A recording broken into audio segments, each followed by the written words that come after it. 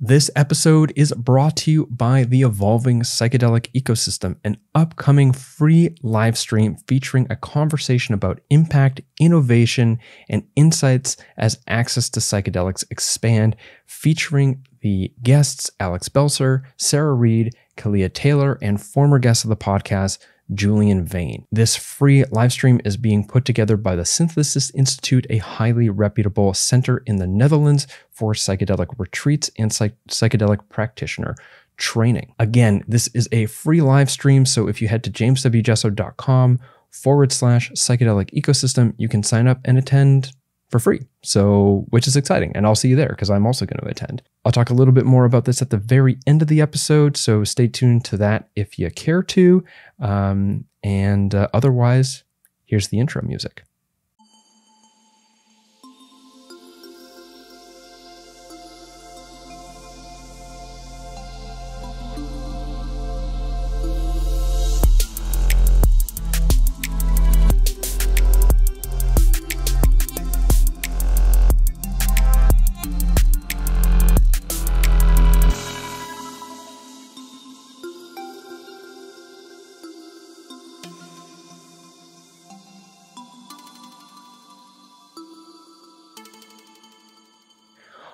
Okay, so welcome back to Adventures Through the Mind. I'm your host, as always, James W. Jesso.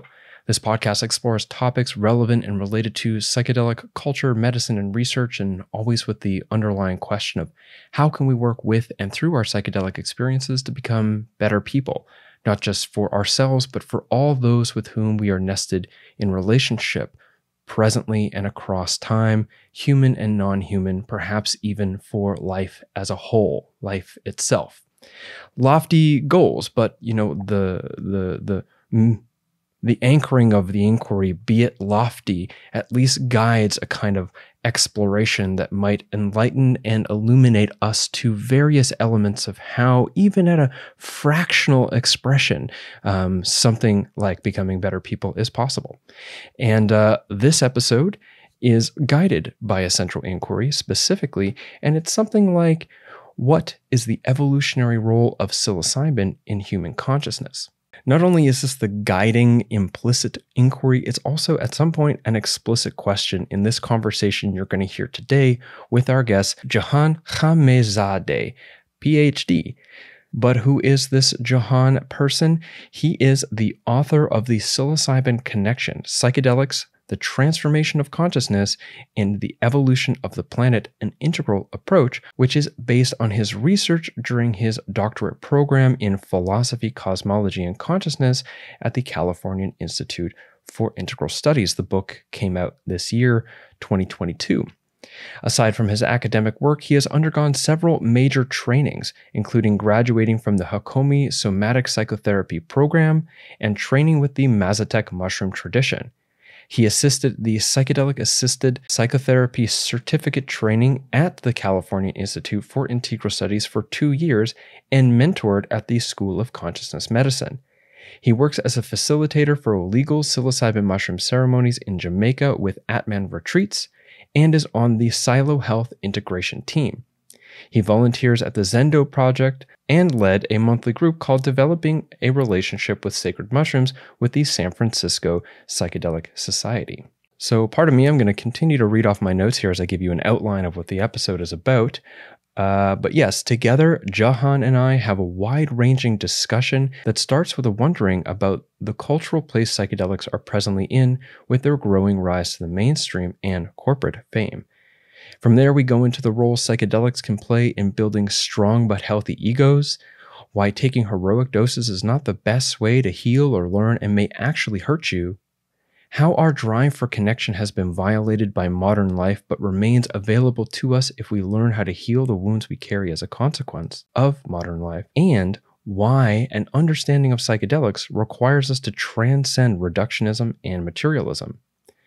Furthermore, the conversation waves in and out from microscopic to the cosmologic as we also discuss the role fungi in general have played and continue to play in the evolution and existence of life and consciousness on this planet, how psilocybin may have assisted in the development of human consciousness, psychedelic molecules in the Gaia mind, the infinite variability of unity, the voice of the mushroom, the voice of God, and the archetypal structure of reality.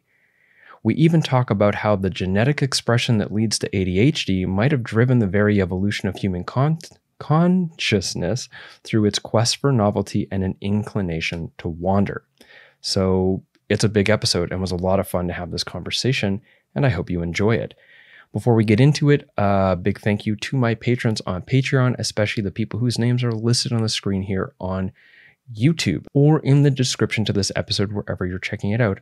Some of you have been giving quite significantly uh, for quite some time, and I really appreciate that. The names you're seeing on the screen here are also people who have given significant one time PayPal donations since the last episode. So, a big thank you to those people and to all of my patrons as you make this podcast possible. Thank you, thank you, thank you.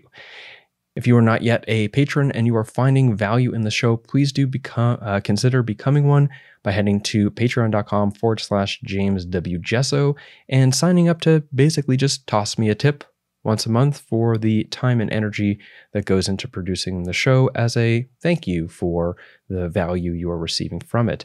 Um, anything is something, and even the price of just a cup of coffee goes a long way. So, thank you for considering doing that. Without much more further ado, here is my conversation with Jahan Khamsehzadeh on Adventures Through the Mind, episode 165. Enjoy.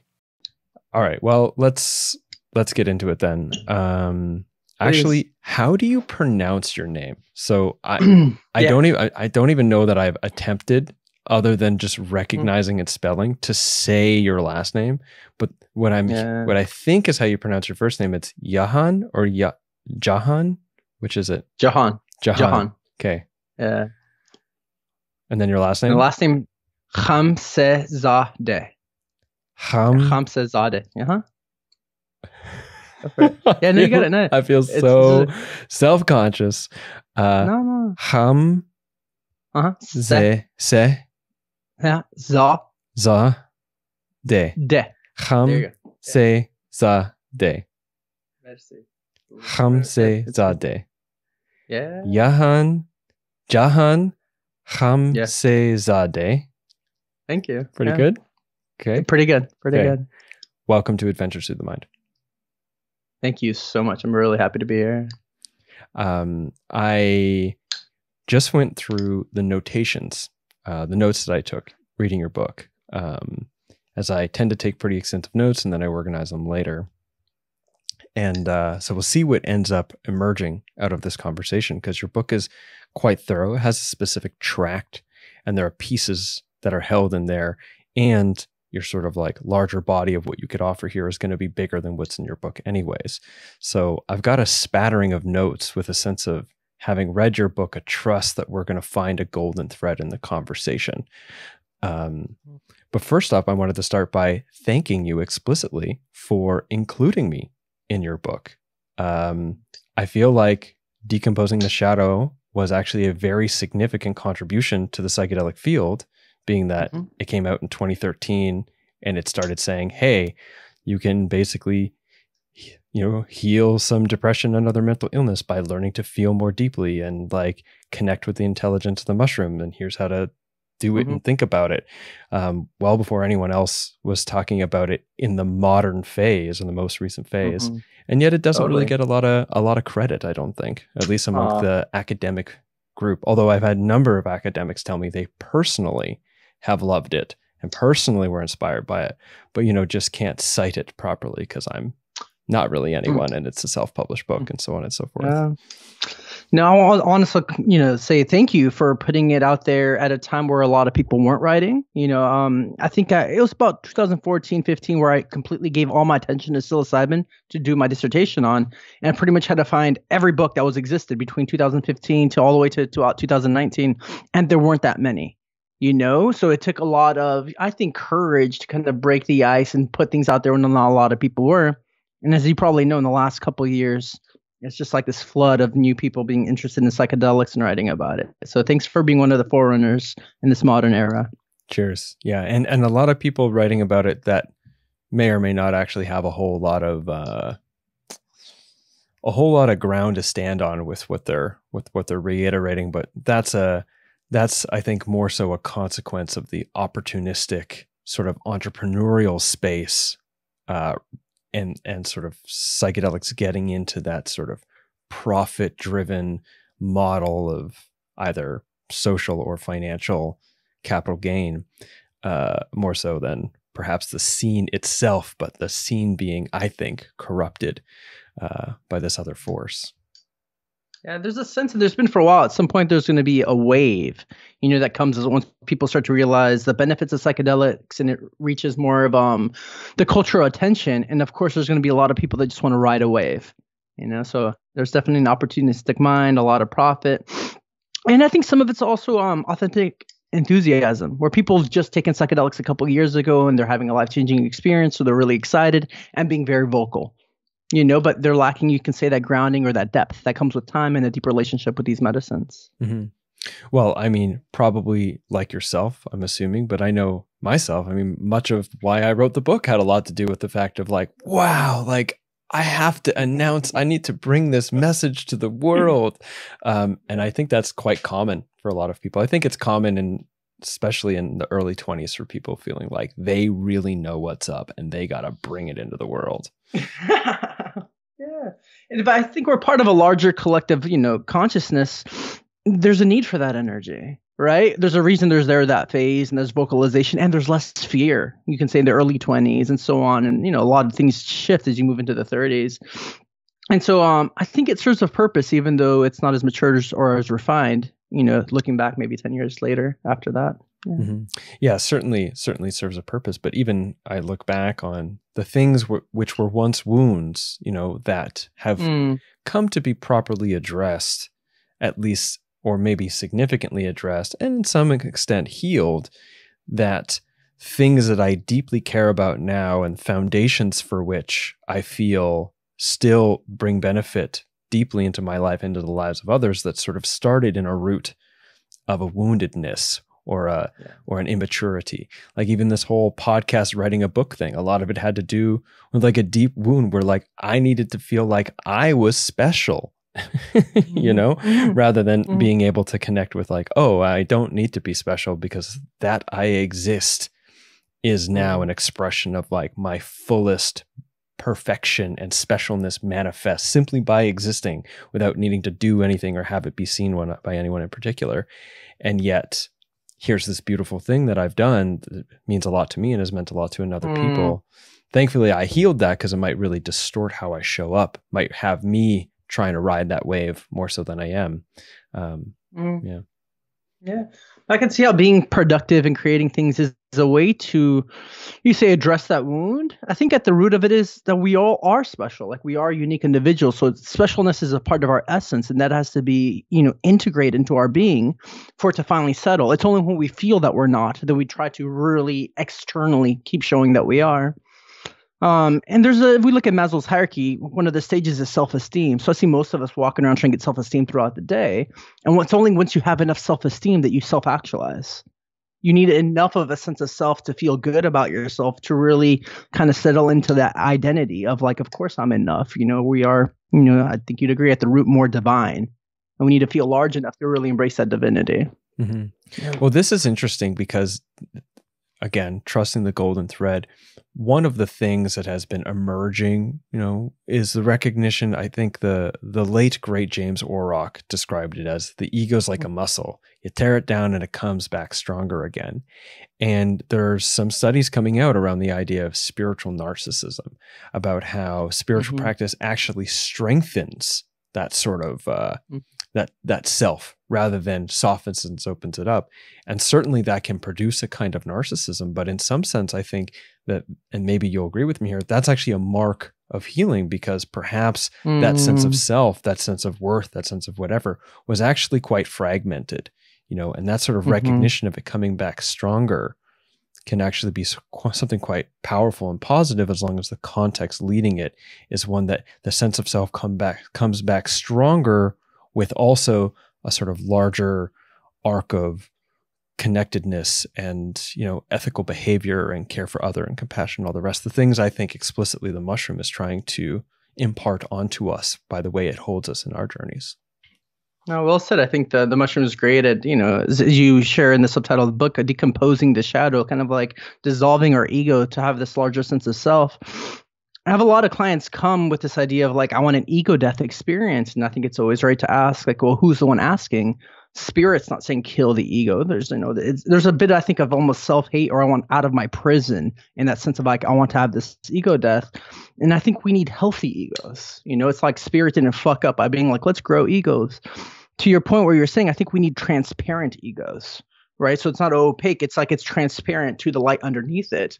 But I think it's healthy to have an identity you know we've done a lot of work to evolve and form identities you know so it's it's kind of self-actualizing the deep potential that we have and part of that is that deep sense of interconnection that we're all one which i think is a good you know response to the inflation in narcissism narcissism's like everything revolves around me and i'm only special so like we're all different you know particles of light you know is another way to kind of land into that yeah. Mm-hmm. yeah and especially too if you consider there's a kind of false humility that sort of creates a sort of spiritual pride around minimizing mm. the self, even language that never acknowledges there's an I or a me present, right?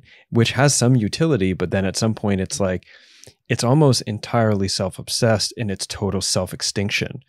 Um, and that mm. being a, um, why did I bring this up? Um, mm. That the, that even in the language of sort of you said like the ego having an ego is healthy. You want to have a transparent one, which means you don't want mm-hmm. to overly inflate yourself to the point that you're like boom but even that sort of like mm-hmm. absolute mm-hmm. minimization is a sort of backwards inflation as well which again i would I so. see rooted in a kind of core trauma that we probably all share growing up in a coercive world yeah, I think you know a lot of people that getting on a spiritual path. So I mean, I started 18, had a huge spiritual experience, and so it's been about like 20 years now. And I think there's a large period there, you know, looking at Buddhism and so on, where the focus is on a no self, where it can get very confusing on the journey. You know, the whole point is empty out, empty out. And I think there's some truth to that, but I think so much of development has to be with creating a very healthy self. I, I feel in terms of guiding work, you know, holding the space uh, in Jamaica and so on, a part of it is creating a deep identity and transforming the identity. It's a wounded identity that we're trying to grow out of and moving towards a healthy one. So identities, I think, at the core part of the transformation work. But to to the point of like say the Buddhists and the no self, there was like five days that I just journeyed almost all day every day, really focused on what is the self and I didn't find anything there in the sense that there was emptiness, right? But there was still a deep sense of me-ness, of I-ness, right? But I thought I would hit some core solid thing. And it's like, it's not a solid thing. We are these imaginations. I mean, space is largely empty, right? But it's full of presence and consciousness, right? So there's a felt sense of self, even though it's not like a, like a rock, you know? So I, th- I, think it's both and. We are here to create these identities while we're alive part of a large story. And i think part of the power comes is in that emptiness we have a sense to create. And we are partly here to create that identity. Mm. yeah, yeah, i like that. Yeah. When you brought up buddhism and i don't know this to be true but i what i understand is like the roots of buddhism were in like the no self and these types of practices were for basically monastic type traditions and they have mm. a lot of utility when they're translated into like living the relational life um, but simply taken as they are i think can yeah create a mm-hmm. like i think that even the most beautiful um, and wise spiritual or religious tradition can be used as a sort of like external structure by which you know our wounds are compensated for in ways that are not as wise and beautiful as they mm. are attaching themselves to if that makes sense. Mm, yeah, yeah, and something else that comes up when you're saying kind of the more these monastic religions is um you know i think it's nice to contextualize they're part of a patriarchal culture where it's largely men that kind of did these kind of practices of silence and emptying out and coming from more of a like a tantra approach right? It's like the masculinity is more that emptiness that observer the seer while the feminine is life. Like she is the wave she is maya she is the dance. And so also for people that are more feminine identified coming into it you know i, I see meditation of more of a structured disciplined masculine approach while something like dance you know sexuality or sensuality is a way for women to create with spirituality. Because for them i think it's more of a fullness you know, at the deep kind of feminine essence than an emptiness. You know, I see she is what's the world that's moving and radiant, and the masculinity is the seer. You know, so even in that, and I think it's good to contextualize for most of these practices came from a, a male perspective. Mm-hmm. yeah. yeah, you you saying that, I mean, male, uh, male masculinity, patriarchy, yes. And I've also, after reading um, Darcia Narvaez and Four Arrows, their book on the the kinship worldview. Actually, the last interview I did was a, was last week, and it was with them, uh, or recorded, oh. not released. And um, in that section, he talked about shifting away from masculine feminine language to solar lunar language as mm. to even further degender because even though masculine feminine isn't necessarily gendered terminology it's hard not to interpret it as such he talks about the sort of like dominance of the solarity uh, and how it has sort of like attempted to like crush out the the the lunar energies or something to this extent. Mm-hmm. and so with even with that you know the solar energies shine directly straight you know like down unabatingly at you know um penetrating. And the lunar energies is receptive. It, it receives and shines. And then also i mean obviously light and the sun has a lot to do with the water cycle but i'm just thinking about like how the moon moves the great waters of the earth as well mm. um, and in some sense the great waters of ourselves depending on where you're at with respect to astrology mm. yeah as a as a shared you know uh, right before we got on uh, there's a few years i studied archetypal astrology because i think it has a lot of correlations with psychedelic experiences and a lot of people within that field also were trying to shift towards the ideas of um, lunar and solar. And then the only thing that comes up for me around that is because we all have lo- like lunar and solar qualities. Again like the part we put out to the world and shines and the part that's more like internal and hidden and we kind of show more with like a sensitive group of vulnerable people and so on. But you know really being inspired by uh, kind of tantric cosmologies also from that perspective you know i think we can all agree people that venture into psychedelics that there's a unity and a oneness. But at some point this one being splits into two. And from this perspective one's masculine one's feminine. And we see this run throughout all of nature right? Throughout all species right? Um, and so part of this is to say that masculine and feminine might not be a cultural construct. Um, and I'm not saying that there's not conditionings within culture that keeps us limited when it comes to masculine and feminine, but it might be a deep part of the structure of the cosmos itself. Right? That's why we see it throughout again the entire animal kingdom. It's it's how they reproduce and so on. Um, and so I think there's a lot of freeing that can be done by changing things out of gender terms and what if these two are actual beings, these archetypal entities that we're always actually in dialogue with? Mm. Yeah. You know, the archetypal yeah. entities thing really lines up with uh I'm I hope I'm not going to butcher this. Chris, if you're listening, I'm sorry.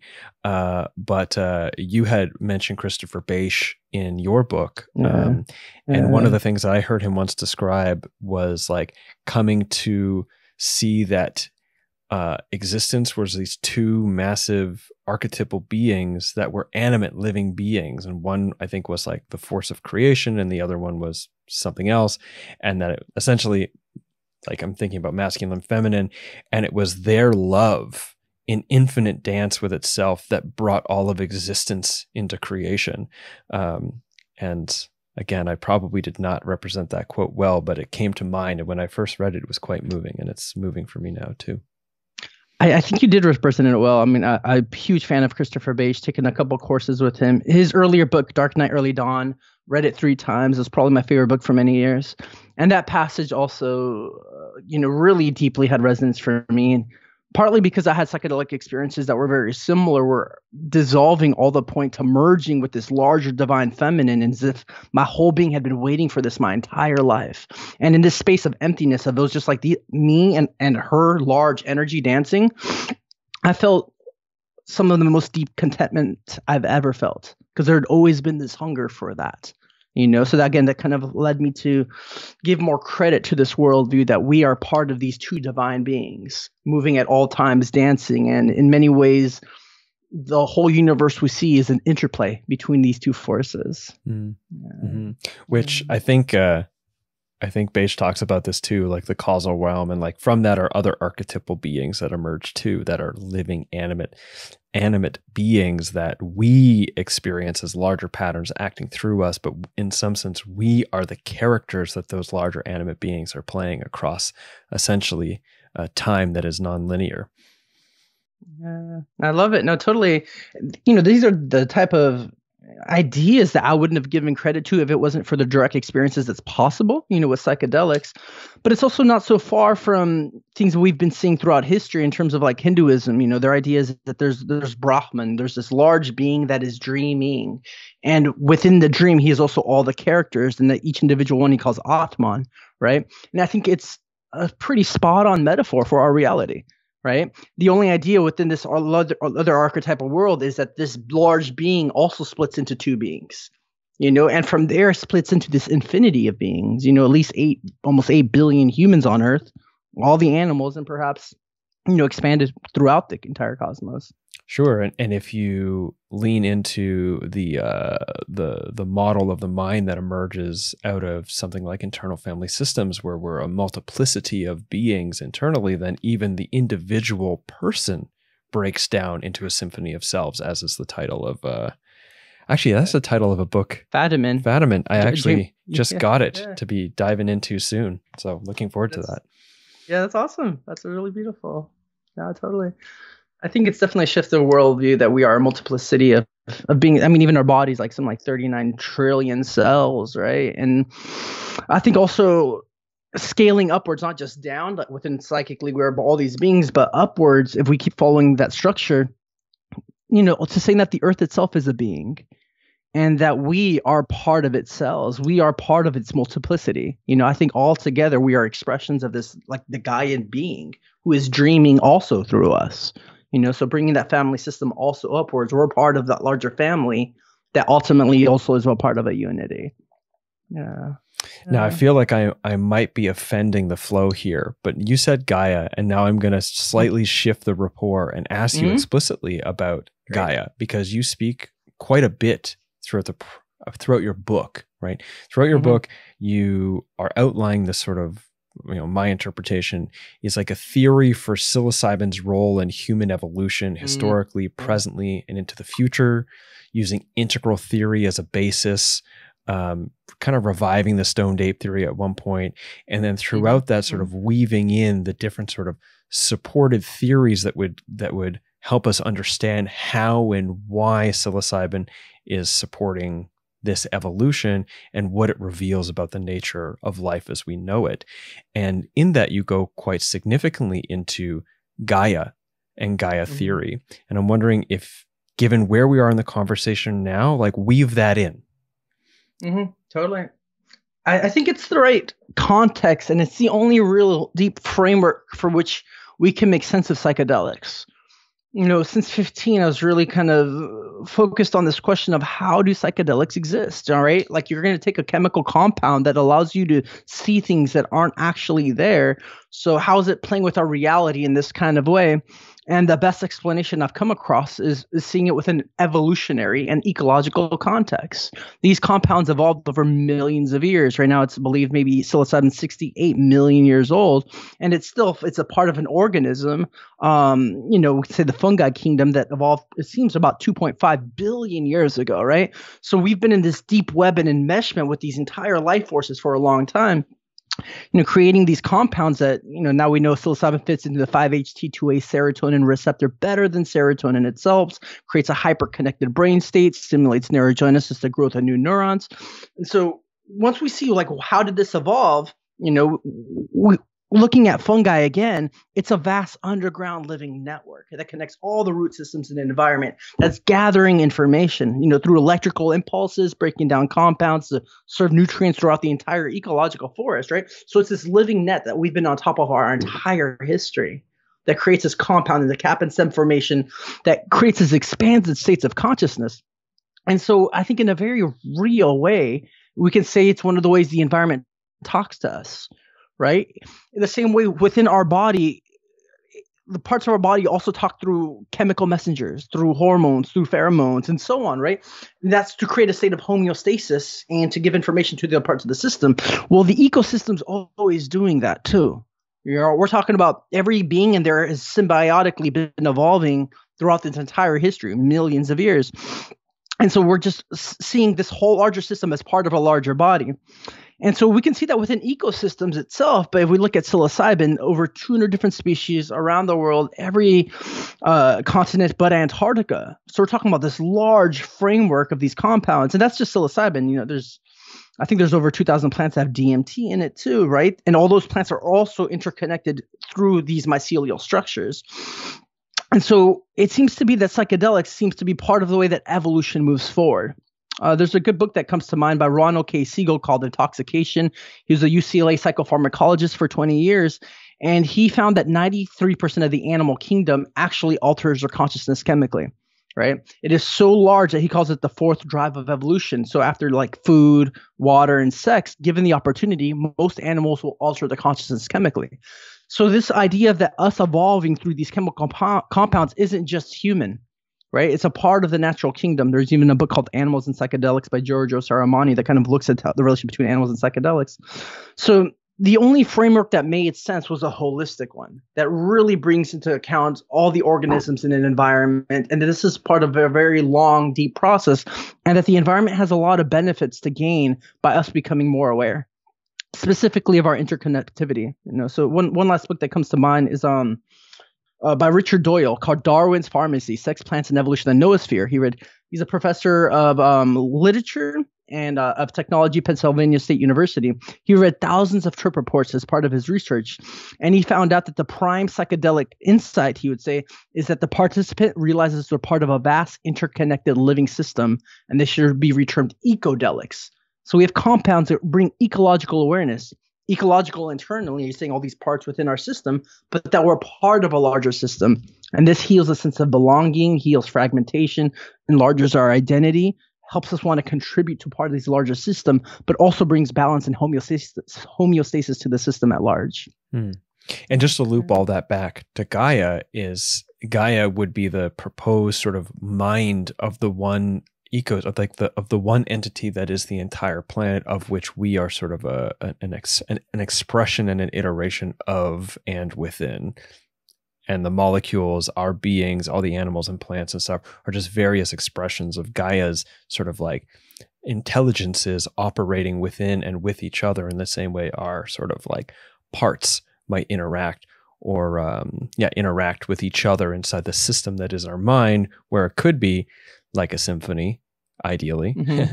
or it could be like mm-hmm. a civil war, which many of us are experiencing internally. To reference uh, Robert Falconer, his language, you know, our parts are in civil war, and we want to get them in symphony, and actually, in some sense, an expression of where we are with respect to how we treat and even acknowledge the natural world or all like life beyond human life, which is a kind of civil war between what we consider to be valuable, which is what serves humans according to human desire, and everything else, which is a kind of civil war on life itself, with humans mm-hmm. being the ones who started it mm. in a sense.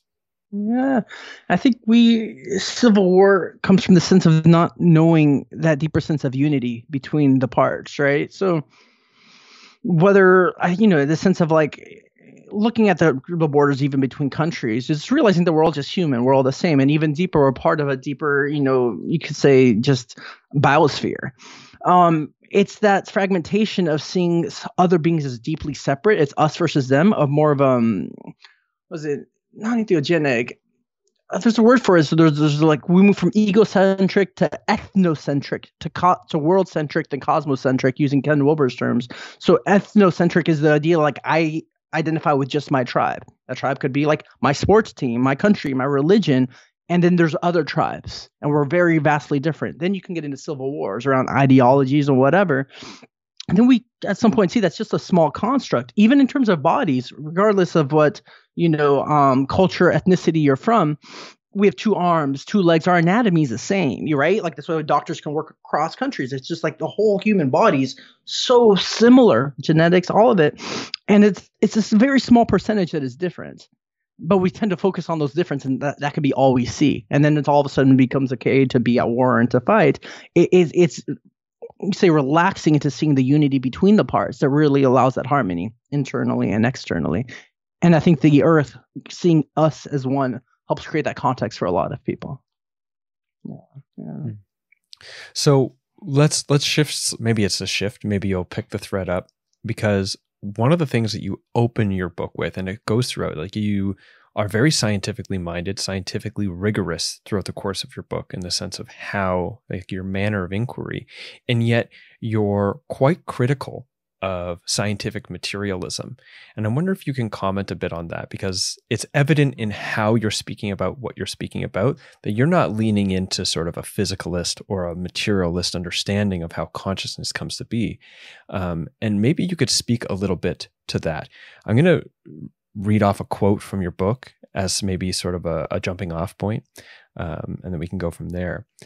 The scientific materialism of modernity cannot make sense of the mystical experiences catalyzed by psilocybin, and the relativism of postmodernism that reduces perspectives to cultural conditioning cannot make sense of the power of psilocybin to mediate similar experiences in people across the globe. No, yeah, thanks for reading that. Uh, definitely deeply agree it comes from a stage of I think there's development of paradigms and worldviews, you know, and I went through my own process. I was an atheist by the time I was 12 or 13. Um, very, you know, there's a lot of pain. There's a lot of reason for me to move through that direction, and definitely gave a lot of weight to conventional, you know, scientific perspectives. Um, physical reality is all we know, right? We can describe everything in terms of the behavior of the physical reality. And when it came to the point, I had this huge, you know, psychedelic experience at 18 and shifted, things shifted, but I still wanted to pursue science. So I came in first as a neuroscience major, and then I uh, majored in uh, physics and mathematics for three years, and realized that that still wouldn't give the interpretation, or I you say the the, the deep picture of what I really wanted to know. So the physical world, I'd say, is just half the picture. That's why I like an integral lens. There's still this you know half of it we could say is these this physical expression which science focuses on. Science really focuses on things that can be measured. Not everything can be measured. Love you know so this can't be measured um unless you can see uh, love is just a bunch of molecules smashing together to totally. force uh, primates to breed yeah. or things to breed and yeah. it's so it's so reductive. You look at a molecule and like that's not that. Like let's look at psilocybin for example. I look at the molecule that's not describing this huge plethora of, of experiences of feelings and archetypal imagery and the states of oneness that somebody's having. It's, it's ridiculous to just see like this molecule is that, you know, and all the images that can come in, all the artistic, you know, I- expressions aren't contained in the molecule. Especially, you could take it and it's different every time. It's not in the molecule, right? It's through this relationship you could say with with a larger level of consciousness. And so I think there's a, a development from uh, specifically a scientific mind that's very kind of desensitized and really focused on describing everything in terms of just objectivity. And I think there's an evolution then towards modernity being like, well, that's not completely real. Everything is a cultural construct. And I think a lot of academia is there right now. And it's a nice deconstructive lens that's breaking down a few hundred years of science. And then I think there's a deeper level that comes mostly from direct experience or more of a spiritual lens that consciousness pervades everything that there's some deeper truths that aren't even just cultural. Uh, for example my experience of giving you know people mushrooms cross cultures really we see a lot of the same images. Um, archetypal, just you say sacred geometry at the beginning. Uh, the same kind of animals that come up. The same realizations of oneness, regardless of your culture. You know, we have what Aldous Huxley calls like the perennial philosophy, regardless of the traditions. At the core of the mystical insights of all the religions, we come to very similar truths, right? And what I see is people that take psychedelics, regardless of the background, come to the same experiences that love is fundamental there's a deep sense of oneness you know um, that everything at some deep level is actually okay you know so these aren't cultural constructs. And so uh, the idea was to try to move people stuck in a rigidity of a paradigm forward. And that those paradigms can't explain the um, existence of psychedelics right? Like we can't look at as i mentioned psilocybin to make sense of it just from um, a physical lens and we can't make sense of it just from a cultural lens right it's kind of like this holistic systemic view that includes consciousness well, when things really start to have context and make sense. Hence, living systems and uh, a Gaia theory. Mm-hmm. So, I I'm really on board. And there's one thing that I have personally been kind of like chewing on and kind of struggling with, and wondering what your perspective is. And it has this sort of like the Western academic reductionism translating into into or expressing itself through this looking at all you know from based on this uh, cultural relativism looking at everything and saying like well let's get rid of all this extraneous stuff and just get down to the core of it and now we can recognize what the foundational truth is which i think actually is a very Western paradigm thing to do. I'm going to reduce all the things that I don't see as particularly valuable, identify what's common, call it fundamental, like a particle, and say that's what's mm-hmm. true. And sort of then all the cultural stuff is just, oh, that's just hoopla. You know, that's just people and their imaginations. But what's really real is this sort of fundamental truth. Even I think the concept of a perennial philosophy, as beautiful as it is, I think is actually an expression of that same like Western reductionist sort of like un, inability to see our own cultural model as like being like, oh yeah, this is what's fundamental. Like, oh no, this is what the Western viewpoint identifies as common, and that that is not not that that's not valuable, but that that too is a kind of sort of like cultural distortion, and that actually all of those, you know, I I very much agree that like just cultural relativism is not going to there there is something deeper as well. There's deeper threads, but that mm-hmm. all of that cultural stuff is as important as well because that too is a full expression of humanity through its different sort of cultural forms and that it's not extraneous data to get to some sort of core truth. I'm wondering how you respond to that. No i think it's, it's well said and i think the movement forward to keep developing is including and integrating more right? And so I think that's how, largely how paradigms grow. Is all of a sudden we have all these anomalies that don't fit in the framework. You know that happens with scientific materialism. It happens with deconstructive postmodernism. We need a perspective that includes as much perspectives as possible and integrates them. You know, in terms of like they all kind of make sense with each other. There's there's a less amount of contradictions, and I think it's um you know just just to to kind of uh, to your point i ended up getting my doctorate in philosophy cosmology consciousness looking at the main thoughts of western history and it's full of people mostly men being like i found the absolute truth. No this is the absolute truth and i'm breaking down everything into like just these axioms and uh you know that's our mind trying to make sense of things you know and each person's like i've got it and i think we all have pieces to the puzzle you know and i think it's every i like ken wilber's things like nobody's 100% wrong. Everybody's holding partial truths. It's it's the coming together of all these perspectives that we get a more of a holistic uh, picture. And it is i feel both and. When i'm looking for example from the lens of uh, just using something like physics we have somewhat the same physics in the structure of the universe throughout the entire cosmos, right? So there's there's gravity. There's certain ways planets are going to form. Um, we have the same atoms throughout the entire cosmos. So there's a structure to which, using physical reality as a mirror of consciousness to some degree. There's a structure to our physical reality that is universal right? That being said, physical reality is still always evolving. At some point, there was only atoms and molecules and cells are to develop and then it just keeps getting more complex and varied as evolution moves forward and with the development of different kinds of cultures right? And this is just on our planet alone. But there is a fundamental sense of a shared structure throughout the cosmos and i think within humanity too there's you know within all the diverse cultures of humanity for a large portion of it uh, about 4 million years we were somewhat moving from primates to humans just in africa right? So there's a lot of shared history in our psyches. Um, but as we keep moving out we become more individualized even in terms of cultures right? And i think that's part of the beauty is all these different kind of expressions and ideas. It brings a lot, lot of novelty and newness and growth. So for me it's all these differences that really are the precious parts. Mm-hmm. yeah. and yeah i i so i appreciate i brought it up because i appreciated your response. I think it has a, for me the the tension and in some sense maybe it's a tension against myself because i can there's record there's literally record on the internet of me saying things like the fundamental nature of reality at the time as if i actually knew what that was um, and that it wasn't just me attempting through my own sort of culturally informed and sort of idiosyncratic language describing something that is actually mystery and completely beyond all conceptual grasp right? And mm-hmm. as soon as I try to conceive it and form it into a some sort of something and hand it to you, I've actually handed you like a dead artifact, you know, no longer animate in the way that it was when I touched it.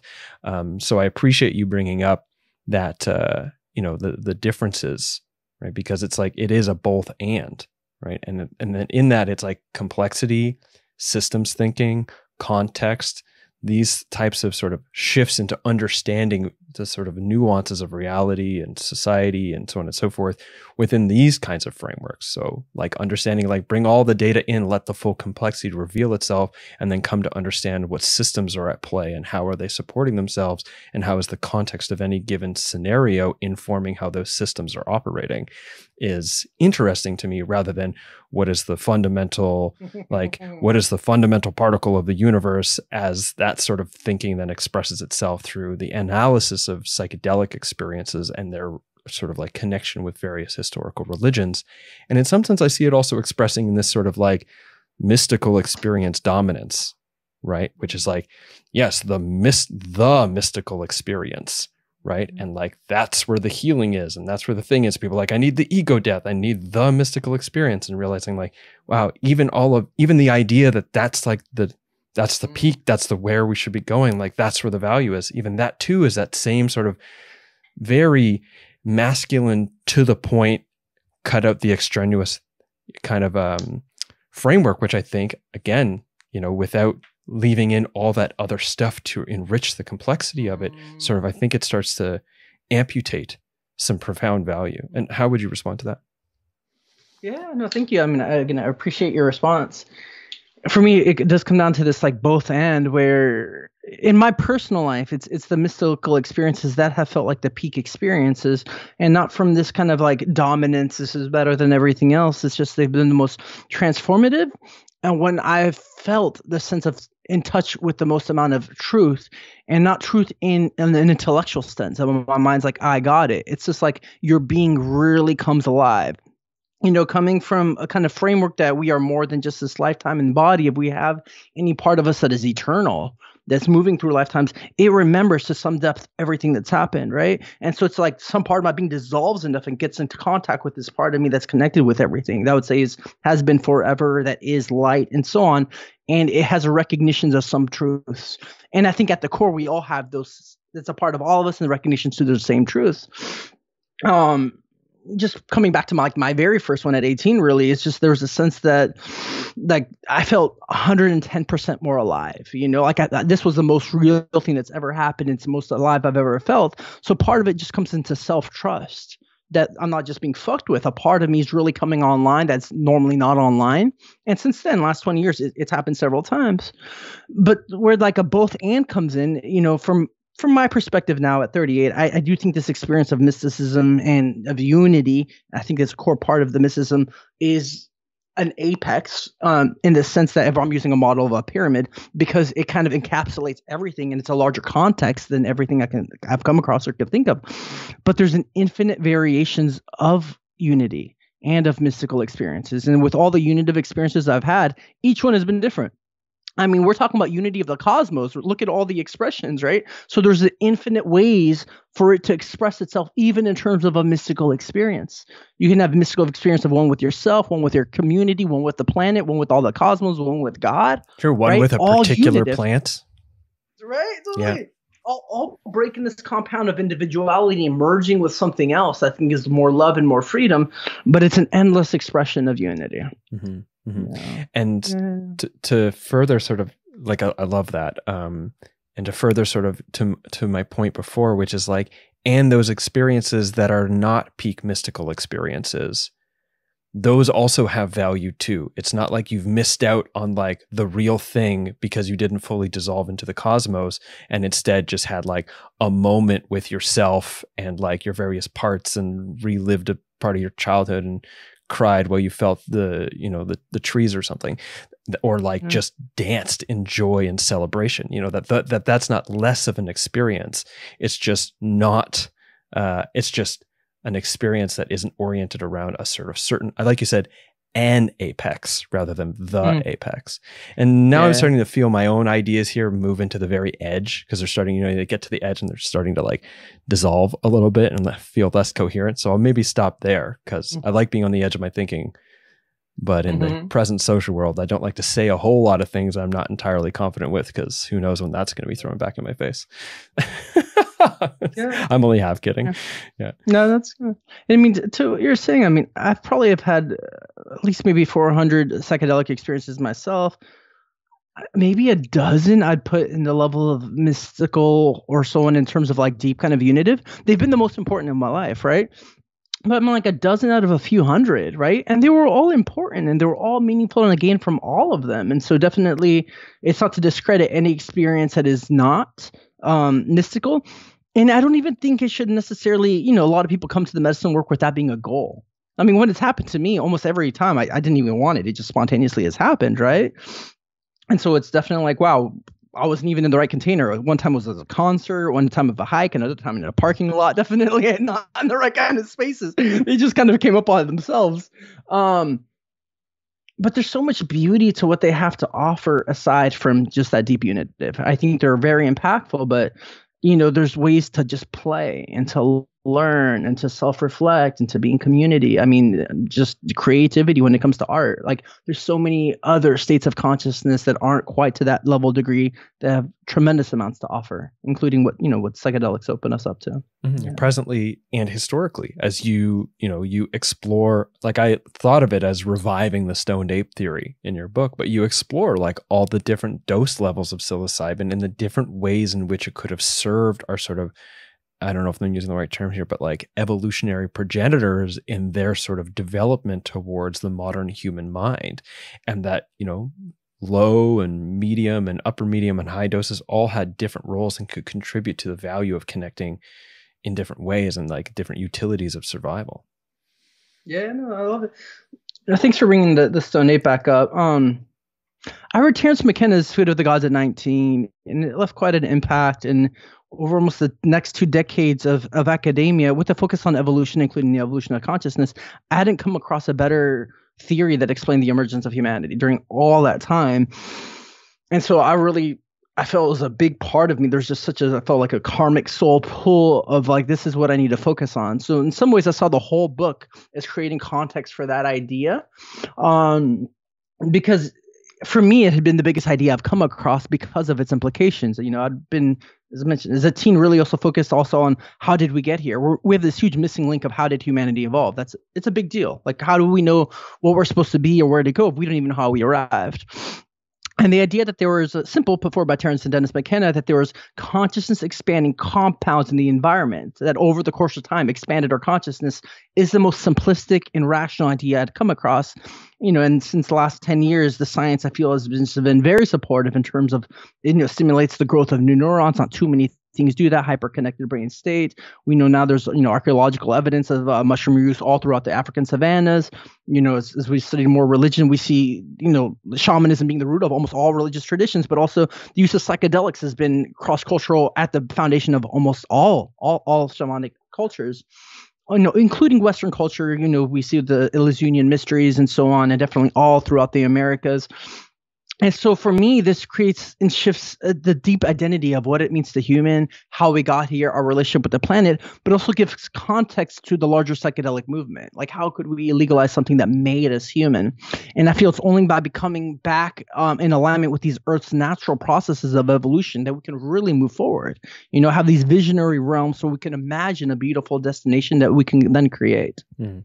yeah it makes me think of and you know like pardon me to all listeners who know who i'm talking about but it makes me think of uh, david wolfe david avocado wolfe. And uh, i actively don't want anyone to take much time to look into this guy unless you're going to look into some critical theories of him because i don't think he's a trustworthy sense maker at least didn't become and he might have just outright been a grifter from from what i know.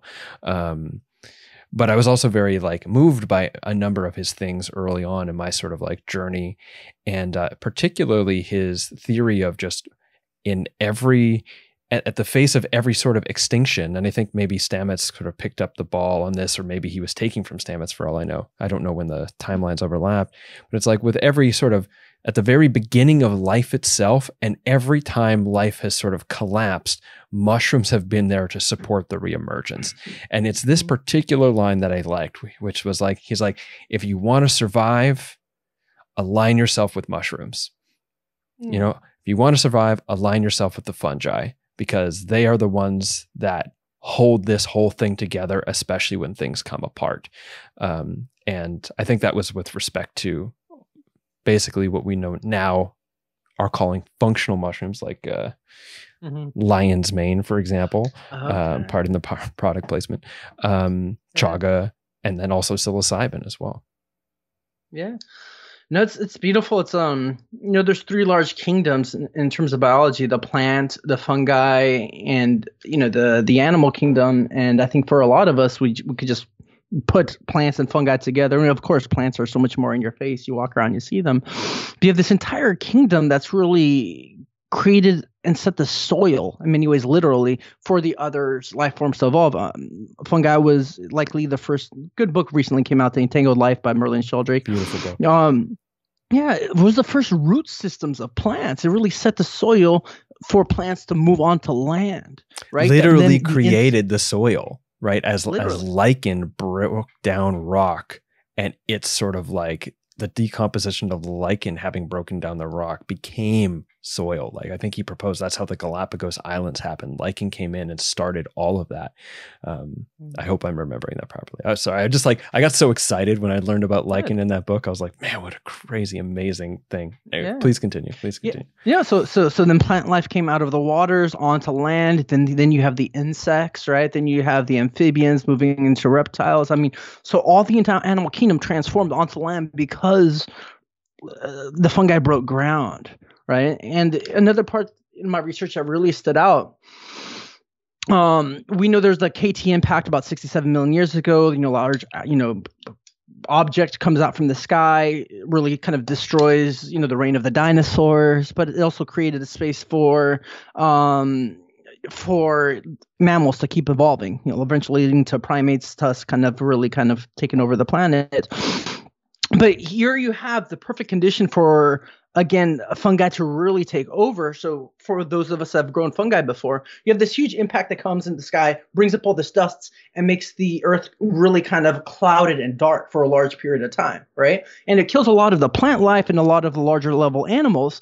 So they start to decompose right? So you have this dark time with a lot of biofuel a lot of material. So the fungi really takes over again. So for those of us that have grown fungi there's about three weeks the, the beginning part of life the fungi needs to be in the dark right? Hence why it's underground and it needs a lot of things to feed off of. So you have all this biomass now that's dead and decomposing in a dark container. And as it lifts, it created a whole new, richer soil out of even more complex plant life to develop. So a lot of the plants life we have now came out of the death and rebirth that was transmuted by fungi from the other life forms that before the KT impact. So again, fungi again set the soil for the next stage of evolution after the reign of the dinosaurs and maybe some of those know that before even plant life came onto land, there was huge, like 20 foot mushroom structures covering the entire planet. You know, you can see images on them if you go on Google if there's a representation of what they look like. But mushrooms used to be like 20 feet tall, and and were like the trees before plant life really came on and started to develop on the planet. Mm. And and the very sustaining of plant life is entirely dependent on uh, fungi. You know, you sort of you made mention that it's common for people to sort of lump fungi and plants together although like fungi and plants are in unity with each other just like the animal kingdom in sort of living resilient sort of undamaged uh, ecologies. But without the fungi there would be no plant life really because the sort of the entire system of soil and the interconnected roots root system that allows for these animal oh, sorry the these ecosystems in order to communicate with itself and the various you know members of its uh, of its ecology is entirely dependent on mushrooms, and without them, you know that system collapses because it can no longer respond. Totally. No, 90% of plant life has a symbiotic relationship with mycelium. 80% of plant life would stop existing if mycelium stopped existing, right? So it's definitely like the ground of the biosphere. And we're all in such deep symbiotic union. I mean, we've always been slowly co evolving together. We depend on plants, you know, for our oxygen, for our food, or even I, I, I turned vegan because of mushrooms, but even those that eat animals, it's like those animals are dependent on plant life, right? So our food and the fuel, right? Our entire body is coming out of plant life that turns sunlight into matter. Our oxygen is, and the idea is, well, then is it too hard to say that the growth of our consciousness itself is also not partly codependent on these plants and fungi? right? Our spiritual development, not just our bodily development, but our spiritual and intellectual development could also be growing you know so we're, we're always in this deep interdependent structure where each part is growing you know in relationship to the other parts also mm. yeah. so this might be more non sequitur than it is sort of coherently lateral uh, but with respect to sort of being in communion or relationship with the fungi i want to get your perspective specifically on the voice of the mushroom and the sort of relationship that can emerge with mm, we could just say whatever is speaking that voice or the mushroom experience itself or like essentially the learning uh, and the the wisdom and the information it offers us. So i'll just like leave that as like a chunk and like let you take it from there.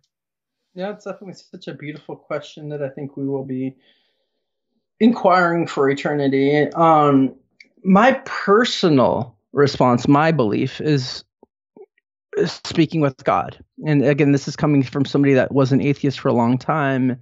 Uh, a voice first appeared at 18 and started speaking. I was like, "Is this real?" The voice is like, "Yeah, I'm bawling." And there's a sense of this is this is God. This is a voice. This is the unity of the cosmos. There's there's an intelligence that holds it all together. But for me, also, everything's an expression of God. Like there's only one being and it's talking to us all the time through the environment, through people, through dreams. And it just becomes more vivid in these psychedelic states. So even though within this being there's a multiplicity, right? So there's other beings and archetypes that exist, but they're also an expression of this one being. Um, I remember I had a dream in which I saw this kind of angelic kind of man come down from the sky, but he was kind of dragonfly wings and looked like this just really kind of warrior ish coming down. And there's this felt sense of like, this is God coming down. And my response was like, I've seen you in so many forms. Why are you looking like this now? And he's like, I'm the come at every whatever form it takes to talk to you most deeply in, at this moment. You know, so I'll take whatever shape it makes to conjure up a part of you that's needed, you know, in, in this instance, and then it just flew back away. You know, in that sense, I think that's what's happening within our dreams and in these psychedelic states. Whether you know it's the I feminine voice, you know, or the more sometimes masculine mushroom, or talking to the planet, they're all mediums from which this unity to speak to us. And so that's how i hold it um, because of my experiences and, and, and, you know my paradigm. And it's okay to see say it as hey the mushroom is speaking to me you know it's okay to say it's i is speaking to me. It's like there's truth to that. The same way i'm speaking to you right now and i think there's a divinity behind you that we're all one and god's also talking through you. I'm also talking to james. Like they're, they're both true right? So i can say the mushroom and i can say god and it's it's just at what layer we're speaking to. Mm-hmm. yeah, so then yeah. if we look at the sort of just like just like our physical realm, right? We'll just say 3D reality is a multiplicity of individuals interacting as a coherent or maybe incoherent, uh, uh, discordant whole. You know, then all these sort of uh, the the various sort of intelligences that emerge in a spiritual type experience that may or may not have physical representation in the form of a mushroom or a tree or etc. That these are also sort of a multiplicity of beings that interact. So, what is the sort of like specific role that the psilocybin fungi as as a being within that what's its role? What do you see it doing with respect to the coherency of that whole and uh, you know its relationship to you know the god or the larger whole that you experience yourself as being in conversation with? Yeah. You know, during that same mushroom experience at 18, and I've thought about it every day since, you know, so it's definitely because it's the first time like the veil breaks down and you're like, this, there's a whole world so different than I thought. But this voice, which we could say the mushroom or God, what it said to me is that the point of life is is love, but by a lot. Miles behind love is learning, and everything compared to these two values in that order is so insignificant and small that you will never have to worry about them as long as you keep these two values in order you know and and for the risk of saying like this is an absolute truth it was my experience right? Uh, but it for me so far it's made sense uh, in terms of universality. And so if this is a shared value that uh, love is also an expression of unity when you love somebody you want to move closer and then there's this evolutionary reason of why we want to keep learning we also if you love somebody you want to learn more about them. So love's learning is also a way to get closer and more intimate with the cosmos or with any kind of subject matter or person. So if these are kind of true, they'd be true for every being, including the mushroom, right? And so, because of our deep sense of interconnection, that I think is a fundamental facet, you know, whether it's ecology, physics, or whatever, there's a deep sense of like we're, we're all in deep relationship with each other. There's a lot of reason to help everybody around you humans, animals, plant life. And so, there, there's good incentive for the fungi to want life itself to go well and to be in balance and to be in love and to be in harmony right? And, and just from a ecological standpoint it's to create a more sustainable landscape right? So the more loving we are meaning there's also more inclusion of awareness of everybody else and we're acting somewhat in harmony with each other and the environment the mushroom can theoretically live forever right? If the host environment is healthy uh, some fungi is over 10,000 years old. It's this living network system right? So it has a lot to gain uh, on a more personal level, even though fungi seems to be a multiplicity of beings, also, it, that it can coexist if we coexist well and the host environment gets to live well. Gaia is happy, you know, I mean, the whole universe is happy. So, the same way when you're feeling really good, you want to help other people. I think that's an inclination running through all of life right so for us to also to keep loving and expanding with that because it's very healing um and then to keep learning right? And I think those are two things it has to give us: love and learning, and that includes creativity. It comes new ideas. It comes it gives us courage, as death and rebirth, so we can keep dying to old forms and be born into new ones. So I think that's an incentive is, is to help us to love and to learn, and by doing so, it also keeps it, it, grows its expansive love and it also keeps learning through us new things are happening on the planet it gets to see and experience new things as we keep developing and evolving Mm. Yeah, this very much aligns with uh, the proposition I was making in my fabled book that uh, was disrupted by a uh, truck on snowy roads mm. um, and may one day be a thing again. Was uh, suggesting that if I were to be so anthropomorphic as to describe the mushrooms as having an intention, you know, then it would be like their intention is to serve the health of the entire system and mm-hmm. with that serve the health of the entire system also because that benefits them because that entire mm-hmm. system remaining resilient creates a system within which it can thrive right and that the psilocybin is playing a similar type role as it expresses through us by helping us get reconnected with the larger system and it cares about the health of that entire system now my added caveat there is it doesn't necessarily care about your safety though, or your ego's safety, right? Mm. It's it cares about the health of the entire system, right? And so unless the context is such that you're caring for your own safety or others are caring for your safety, then you it trying to serve the health of the entire system by say totally breaking down a bunch of structures and beliefs and so on and so forth within you then that could actually be quite harmful to your well-being if you mm-hmm. haven't cared for your own safety, either explicitly by ver- managing the variables yourself or by having somebody else actively managing those variables for you in order for the thing that the mushroom is doing to serve the health of the entire system to move through in a way that is safe for the individual consuming the mushrooms. How do you feel about that? No, totally. I think you know every being has a degree of autonomy. That's in movements are autonomy communion transcendence even looking at the bottom of maslow's hierarchy you know safety and security before you move to these other layers. I think it's each individual's job to the best ability to take care of themselves. It's just a need right? There needs to be a focus on yourself also and self-love to be functional sustainable to be of service to others. And um you know i'm not the big fan of people, especially early on in their relationship with psychedelics, of just taking large doses and just crushing through their ego barriers to dissolving to whatever idea that they have is good for them. I don't think it's a compassionate thing to do. I don't think it's a loving thing to do, right? And I don't think it can personally I don't think it actually has positive results. I think it can end up confusing people quite a bit. I think so. It's a shock to your system. It's shocking because one, it's unnecessary. You don't need to go that way. You know, you can slow the fuck down, and there's there's loving ways to dissolve, more gentle. You know, um, you know, I I think we need more self compassion to even have larger levels of compassion for others. You know, f- um, I'll focus on like 5-MeO DMT right now because a lot of people just blast off, and there's ways you know that you could take it and just soften and soften and soften and dissolve and get to the same place with the same insights and impact, but more gradually and with ease instead of being like shot out with a rocket. You know, same with psilocybin. If you're at a point where like, hey, I really want to and I'm ready for that, that's different than thinking like this is the way things need to be done or the way that facilitators think things things need to be done. You know it's, again it's it's kind of like this forceful breaking through attitude that leaves a lot of rupture and hurt instead of an actual loving way moment to moment to moment right? And there's you know it could be a more of a melty dissolve that feels good the entire time and yeah i think you can get just as much out of it. Mm-hmm. yeah.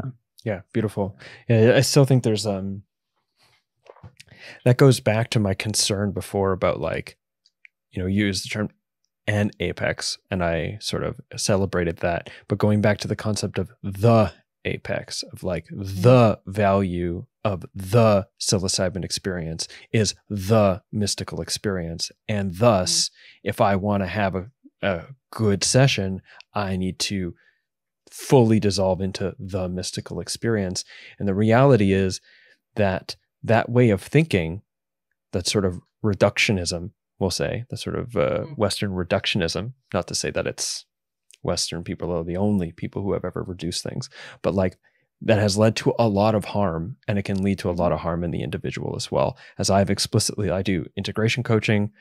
I don't advertise it very much because, especially since my car accident, I have very minimal capacities and resources internally. So I don't want to like get a lot of people messaging me, but it is available and people can find it on my site. And there have been a number of times that I've gotten contacted by people because they saw the research, they, you know, understood the narrative as it's coming out through the mainstream and ended up being like, "Oh, in order for me to heal myself, I need to have a full ego death. I have to have the mystical experience or else it's not going to help me." And the reality was is that they got more hurt and they were more damaged on the outset or on on the um on the uh what's the word I'm looking for? Uh in the aftermath we'll say than they were in the beginning. Mm-hmm. um and it's it's uh sad not sad like pathetic like sad like it hurts my heart to know that people are are being harmed because of the tendency for us to create these weird sort of like dominance narratives even with an experience that is very much about you know uh, like you said melting. It's very much about surrender, you know? No, totally. Yeah, I uh, definitely uh, a lot of resonance with what you just shared, and um, you know, holding space out in, in Jamaica and so on. A lot of people have come because like I want to have a mystical experience, and they can really focus on this narrative and.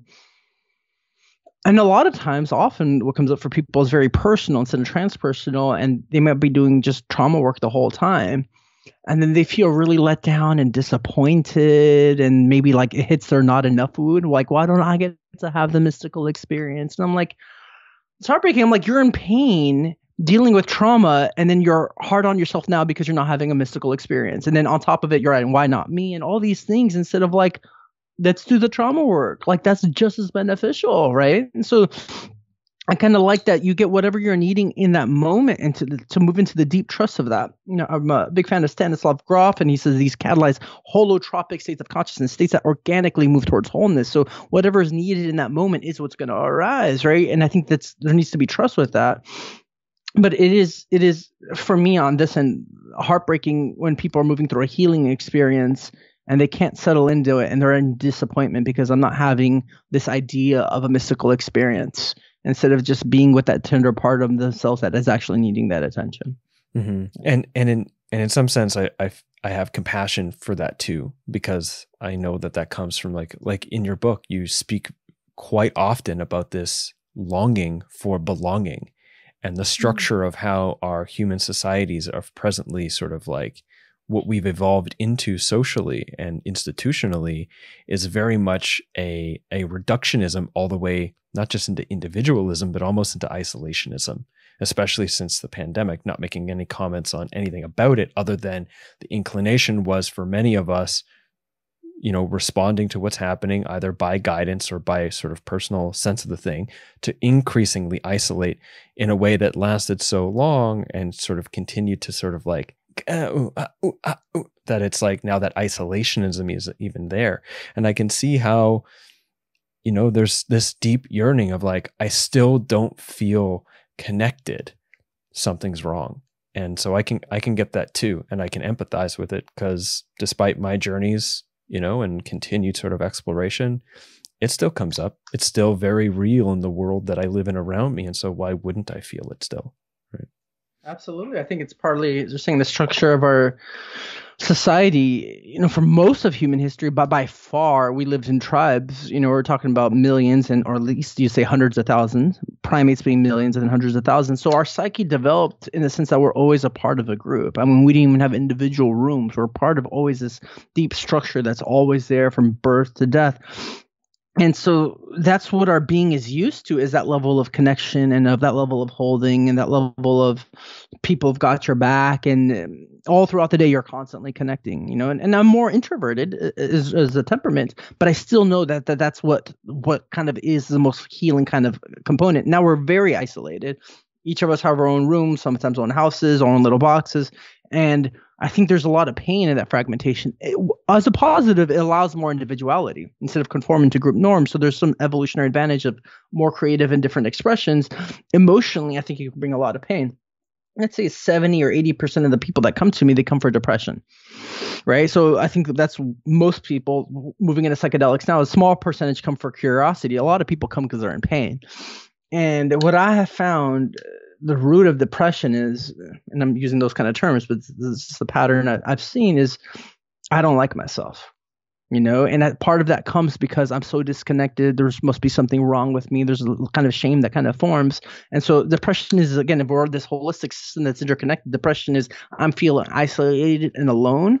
And because of that i feel like i'm also or be, because of it i'm i'm not enough and something is wrong and I don't like myself. Hence, it's hard to be in connection because I don't like myself. Other people might not like me. And the healing I have seen to all of it is learning how to like yourself. You know, you can say the self love, it's used a lot, like self love, but to really come into good relationship with yourself is, is, is so much of my focus with the psychedelic work because it's only then that we can really be in deep relationship with others. You know, it's hard to be in relationship with others when you don't even have a good relationship with yourself. Mm-hmm. Yeah. yeah. totally. Um, yeah. I think it was with my recent conversation with Robert Falconer that we discussed the sort of like, oh no, it was with, uh, I think it was in that. It was also in my conversation with AJ Bond about how shame and how we close ourselves down can block us from being intimate with others because we don't let ourselves be revealed, and thus we can never really feel close because we never really get seen. Um, and there was uh, something else there that was coming up as you were speaking. Oh, yes. You know, and it's not just from each other or in how we relate to each other in our living situation, socially and etc. But it's also very much, you know, the consequence of the the consequence, I think, maybe of the industrial revolution. Certainly, the consequence of like the long hang- hangover that is the Abrahamic traditions, where you know, like actually this entire world and anything can, that connects you with like so the deep earthiness of it is pagan and wrong and bad and heathenness and all the rest and that actually like this life is just a holding place for you to prove your values to an off-planet god through these external structures so you could go to where your real home is and that this home doesn't matter. All that matters is that you try to accord to these unreasonable excuse me expectations uh, uh, for for for moral behavior um, that there's a real disconnection from the living beings that are the plants outside. It's not that we're isolated from each other. We're also isolated, sometimes very literally, in concrete jungles from the entire community of the trees and even, you know, the trees and the water and the landscape itself. and this is also something that came up with uh, with respect to my conversation with Darcia Narvaez, who was also part of the kinship worldview conversation, was speaking to uh, you know when the COVID isolation protocols came in for a lot of people, there was the it was like there wasn't a and I'm still connected with life and I'm still connected with the plants and with the animals and with whatever else. It's like now I'm really alone utterly because there was only humans left. Mm. And there's something to that too. And and in respect back to psilocybin is how much it helps us heal that connection too. Right? There's a lot of layers in which it sort of helps us heal our sense of connection to others, all others, and to connection itself. I like to call it like there's connection, right, with, and then there's connection with a capital C. Um, yeah. Yeah, no, that's I think so beautifully said. I don't, no, um, for anybody that may follow, like whether it's integral or spiral dynamics, that there's a development of paradigms. The most fundamental paradigm that was there for most of humanity was animism, right? And you find it in all still indigenous traditions. It's at the beginning of shamanism. Animism is that the environment is alive, right? And there's sometimes it's broken down. Each thing has its own spirit. All the plants have their own spirits, right? But there's this huge interconnection play of everything, of spirit being interconnected with all the other parts, right?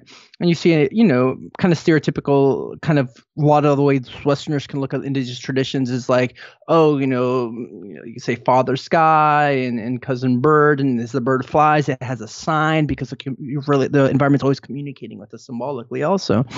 And I think it's something that's massively lost. You know, I think the idea of even of integral is it was to integrate a lot of the past paradigms. That's why we get to a greater wholeness.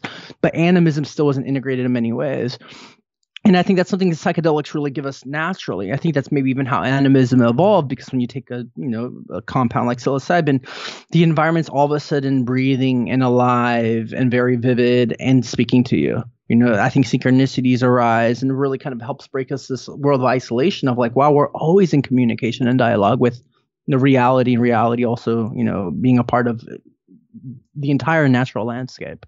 You know, so I think there's that sense once you see that the other isn't empty that materialistic stance of everything's kind of dead end or matter. But once you see it as living beings, including all the plants, then you can form deeper relationships with them.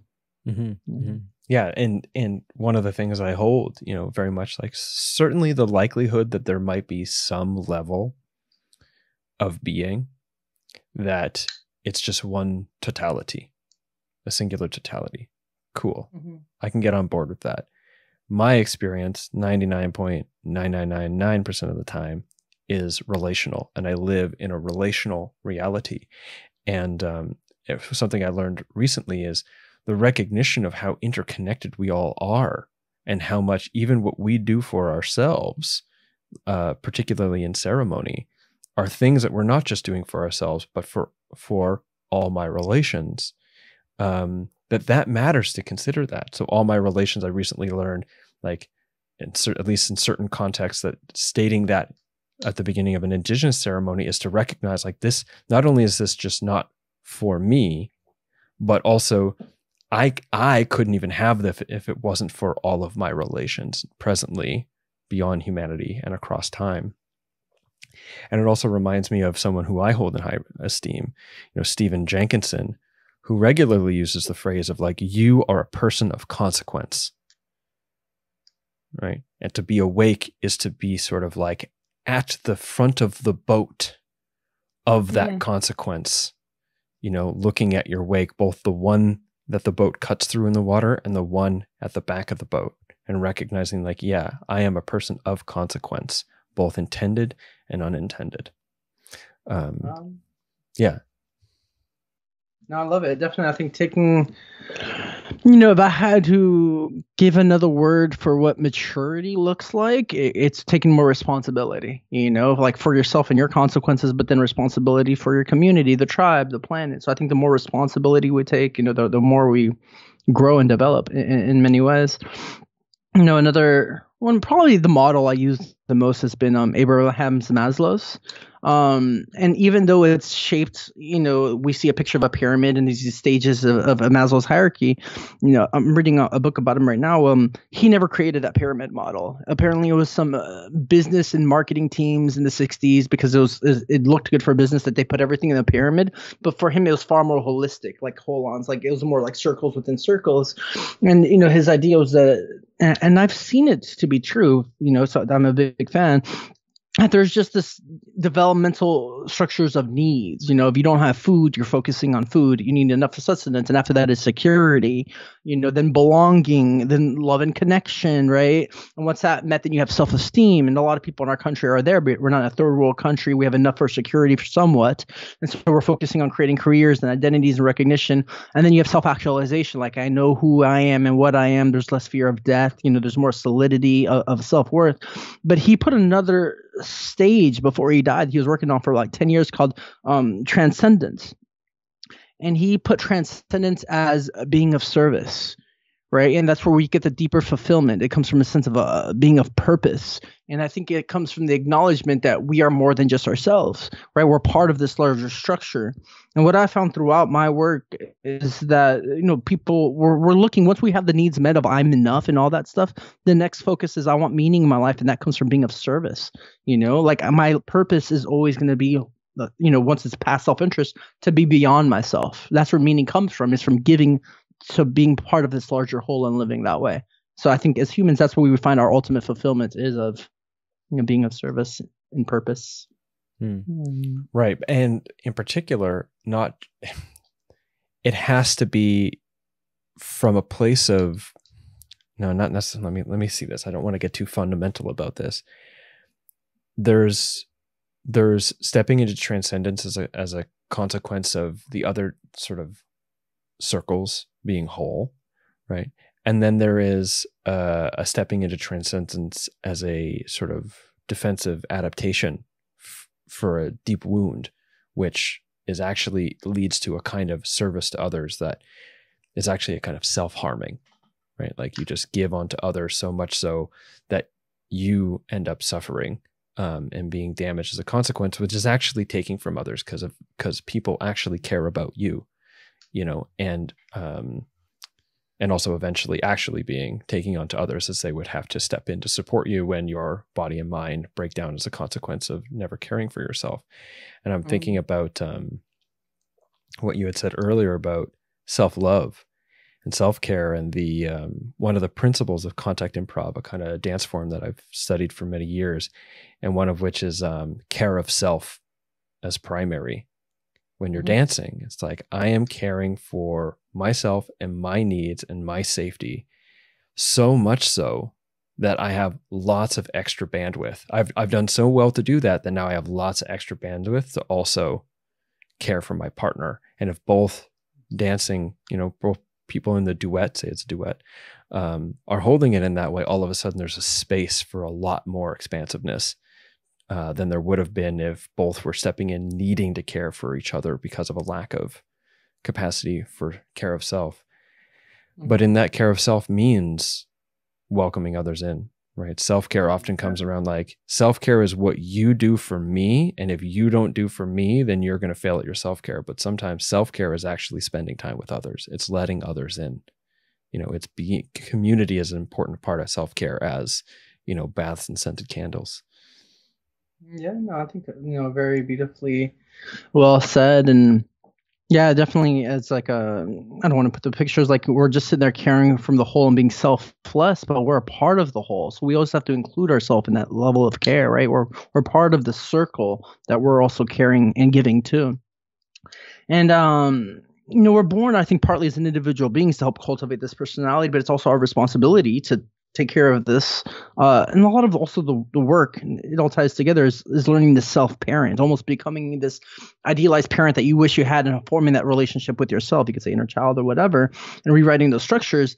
And it's, it's, I think it fluctuates of how much attention should be on yourself and others, you know. But I think as a prescription, even if just half of your attention is on yourself and meeting your needs and care, there's the other complete other half to give. And if everybody worked like that, we'd have half the people, like everybody, able to give half their energy to everybody else too. It's very beautiful, but it's always fluctuating. Sometimes your needs are so taken care of that you only need 20 to 30 percent of your attention on yourself because everything's fine. You have a lot of bandwidth. And other times there's crises, heartaches where you need 70, 80 percent of your attention on yourself, and you only have 20 percent bandwidth. Mm-hmm. And but I'm really feeling that right now. Actually, I'm, I'm loving the way you're yeah. speaking to that and the wave of it because I'm really feeling I'm on that ladder right now. So Uh, and it's, it's, it's care, and then hopefully there's people around you if you need help that they have more bandwidth. So there's always this, you know, like ebb and flow in, in, in terms of this. You know, I mean, obviously if you need injury and hurt, all your attention needs to be moving towards you, and and it's just a fluctuation during that moment. Um, but yeah, I, I, as you're saying, I don't think it's at service at all to if we self abandoned you know, it's definitely a, a, tendency I had definitely in my 20s and early 30s. And takes a lot to just stay grounded of yourself. This is your you're a being that also needs to be taken care of, and it's your responsibility more than anybody else's in the world to take care of your being. You know, and it's only from that space, as you're saying, of, of fullness, of I'm actually okay, that we actually have, you know, from that place of fullness, be able to really give to others. Yeah, I'm so I hear you on you're on the ladder right now in the bandwidth. Yeah, my heart goes out to you. Thanks. Uh, yeah. This is probably the most sort of uh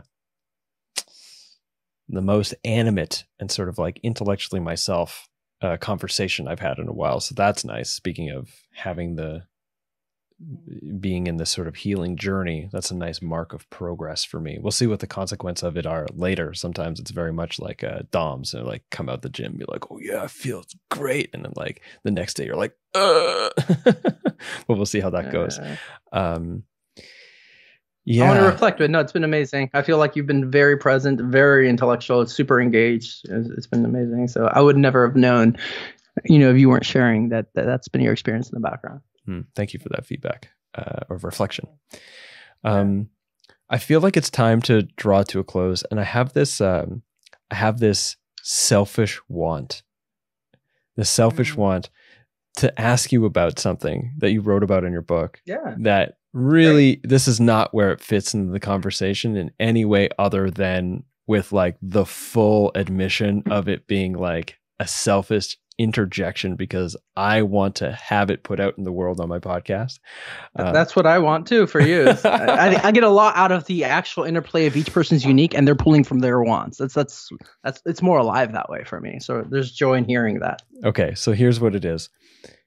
Can you talk a little bit about you make a presentation in your oh yeah I thought I muted my mic. You make a presentation in the book when you're speaking about uh, the role mushrooms have played in the sort of evolution of the human of the human from a neurobiological standpoint as well as a consciousness men- mental capacity standpoint as well as a social standpoint at one point you speak to the genes that are responsible in the modern human for what we diagnose as ADHD and neurodivergence. Mm. And there yeah. being an intersection between like the genetic basis of ADHD, neurodivergence, as well as uh, you know psilocybin and its role in uh, in human evolution. So I wonder if you could lay that on the lay that on for us. Yeah, you know, part of it came from research and part of it from studying myself. You know, I was diagnosed at uh, at 15 with ADD. And by 18, I wrote it off and I was like, this is something humans just made up. You know, uh, it's just classifying each other. The medications aren't helping, all this stuff. And then about five years ago, I was on uh, five hits of LSD. And halfway through the journey, for some reason, sort of out of nowhere, thinking my mind about the ADD. And I'm like, I wonder, I'm curious if this is real. So while I'm on the five hits, you know, I take out the iPad, I start doing some research. And I'm like, yep, I hit every fucking criteria of like what's what's ADD. Kept going down to the research, and I see that they've isolated the genes of ADD. So it's not just a human cultural construct, you know, it's a part of the physiology and it leads to a different brain formation and a personality type, right? So could be there's more sensitivities and more creativity, sometimes impulsivity, there's a drive for novelty. There's a lot of things I'm like, wow, yep, hit, hit, hit all these markers. But to see it as a, a, um, a structural physiological element you know was huge and helped me have more acceptance for myself you know both my strengths and sometimes the shortcomings you know so for example I, have you know went through doctor programs. I, I write a lot, but I'll read my paper twelve times and miss typos. I just oh, can't. Yeah. I for, yeah. oh yeah. Can't, I for the for for the life of me, and I'll go carefully. I spend hundred hours and I'm still missing typos.